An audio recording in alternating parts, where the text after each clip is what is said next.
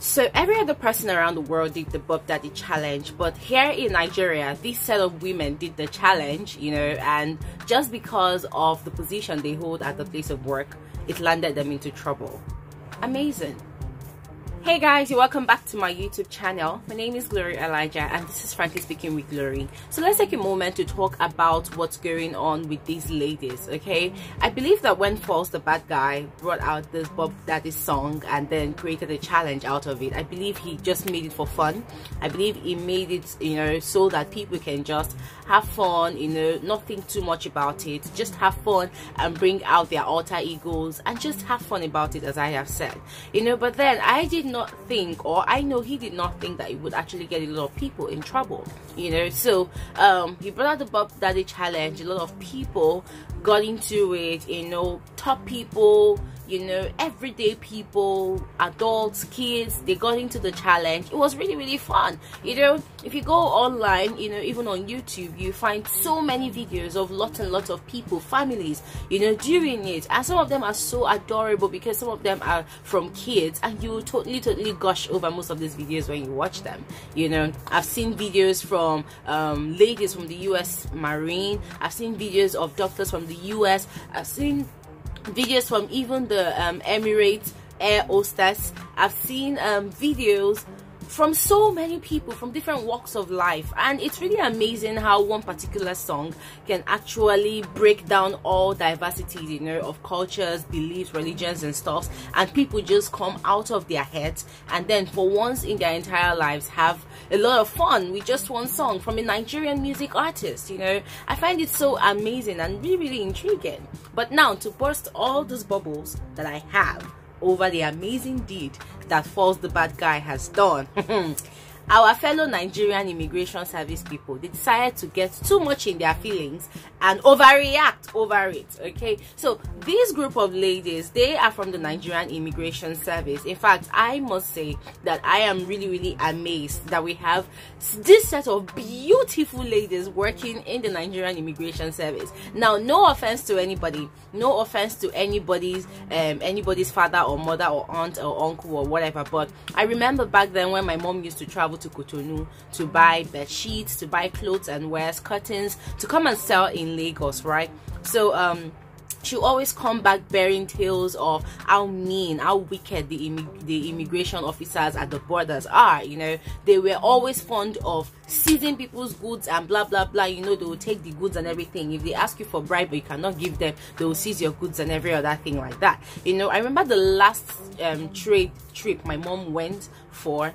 Um, she went with she collected money I think it was her pensions or whatever from where she was working, and then she carried all that money and went to the market to go and buy goods to come and sell for the Christmas period. Guess what? That was about eight seven years ago and my mom carried about 300,000 naira to the market guys that was how they seized everything she came back she was depressed she was sick and everything. But that's just story for another day guys. Um, i'm just trying to paint a picture of the knowledge that i have of the immigration service in nigeria you know. Whenever anybody talks about immigration service that's the first thing that comes to my mind all these people are mean and all of that you know. So when that picture comes to my mind i am always thinking about old people very elderly people who are very mean who don't have any joy who don't have any laughter in them anymore you know. But then when i saw these ladies do the Bop Daddy challenge, immediately all of that misconception in my mind about the Nigerian immigration service, it turned, it just wiped off because in my head I started asking myself questions like, oh my god, so we actually have young, fresh minds like this in the immigration service. You know, I was really, really amazed. Like, guys, it took me unawares. I did not expect to see young ladies like me, about my age, you know, you know, proudly flaunting their uniforms, you know, proudly showing to the world out there that hey, Nigerian Immigration Service is not what you think. We actually know how to have fun over here as well, and we actually know how to be beautiful. We actually have young, fresh minds in the Nigerian Immigration Service, you know. So somehow, when I saw this video that you're gonna watch right now, for me, it wasn't just a Bop Daddy challenge that I saw. It was a video that came to break all the norms, all the misconceptions in my mind that I already have about the Nigerian Immigration Service. You know, it was a video that came out to clearly announce to me, especially that hey, glory, young people, fresh minds are also in the Nigerian Immigration Service. That hey, Nigerian Immigration Service it's not all about sad people. It's not all about people that are killjoys you know? It just gave me a different perspective a fresh perspective entirely of the nigerian immigration service you know? And i was really really excited.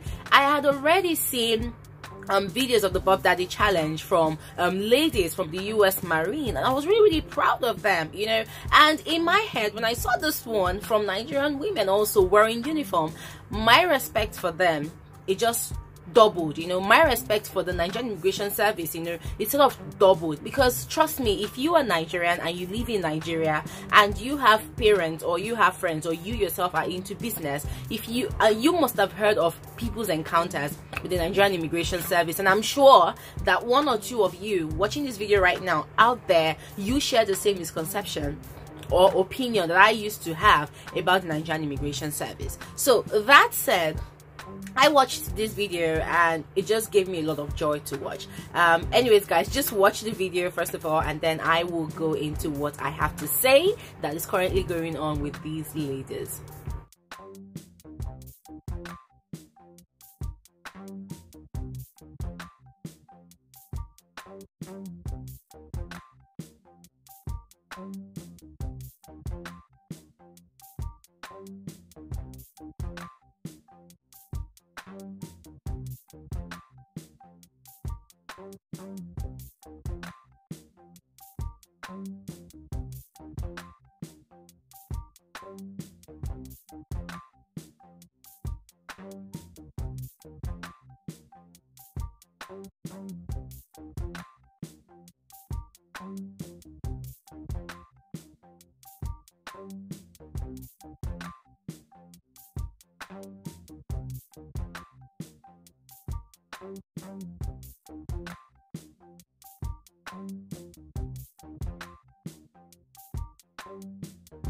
So the first time that video came out, it went viral online. People were amazed. People were thrilled. People were happy. Like, oh my god, these ladies are so cute. This is these ladies are so beautiful and all of that, you know. But then their bosses were not happy.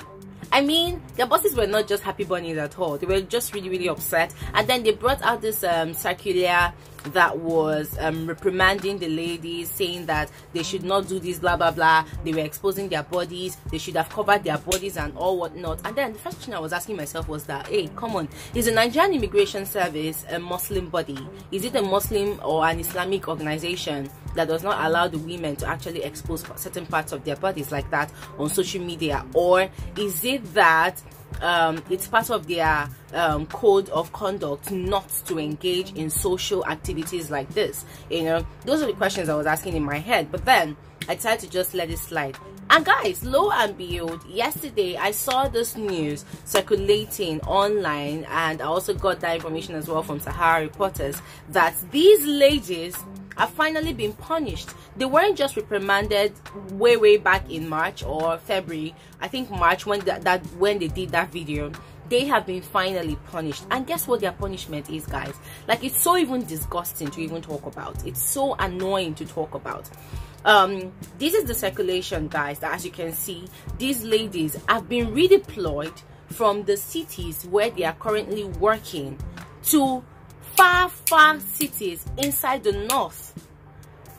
Guys like this is so ridiculous. This is absolutely ridiculous. Okay let's give the the the nigerian immigration service the benefit of doubt that it is against their code of conduct for these for any of them any of their staff or any of their officers to actually engage in social um should i say social activities or social fun as i will call it or in anything that has to do with um showcasing their uniforms online. I don't even understand guys. Look i understand that a lot of organizations they have their workers employee manual. They have their codes of conduct. They have their ethics. Like um, there was this place i was working for right um, you will see that in your contract they will clearly state there that smoking is not allowed in the um, office building you know. But i've been to a lot of secretariats in lagos a lot of local government secretariats and i've seen a lot of workers you know when it's their lunch break they will smoke. So that just told me that okay it's actually different strokes for different folks you know. But what i do don't understand is did these ladies actually kill somebody the Bop Daddy challenge video that they put out, did it actually disrupt the activities of the Nigerian Immigration Service? The Bop Daddy challenge video that they put out, is it the cause of the coronavirus pandemic that the world is suffering today? What I don't get is, is it that the video that they put out, did it sort of destroy the, the, the image of the Nigerian Immigration Service? Did it sort of kill somebody? Did it destroy somebody's future?